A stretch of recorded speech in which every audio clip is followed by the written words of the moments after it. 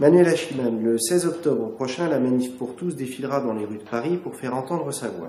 Soutenez-vous cette initiative? Vous savez, depuis 4 ans, euh, le gouvernement socialiste n'a eu de cesse d'attaquer les valeurs de la famille avec les lois qu'on connaît, les lois Taubira, mais aussi avec des tentatives d'introduire la PMA, la GPA, et puis aussi, on s'en souvient, hein, avec cette approche très pernicieuse des ABCD de l'égalité, euh, qui euh, introduisent euh, ou introduisaient dans, dans, certaines écoles la théorie du genre. Donc naturellement, je défends les valeurs de la famille et naturellement, je soutiens la manif pour tous.